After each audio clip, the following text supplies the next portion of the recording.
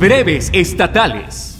12 municipios del estado de Puebla concentran 53% de los homicidios culposos que se han presentado en los primeros 10 meses de 2016, revela el Secretariado Ejecutivo del Sistema Nacional de Seguridad Pública, organismo que también señala que en 111 municipios poblanos no se han reportado ningún asesinato culposo lo que va del año. La Secretaría de Marina detuvo a uno de sus elementos en activo, Miguel Ángel Ortega, acusado de asesinato de su esposa de 21 años y su bebé de 8 meses de edad, quienes fueron encontradas sin signos vitales la semana pasada en Playa Barra Galindo, en el municipio de Tuxpan, al norte de la entidad. Y finalmente en el municipio de Centro Villahermosa, fueron detenidas cuatro personas por posesión ilegal de 29 mil litros de hidrocarburo en una pipa, junto nueve contenedores con capacidad de mil litros cada uno, informó la Fiscalía General del Estado de Tabasco. Para el punto crítico, Miguel Muñoz.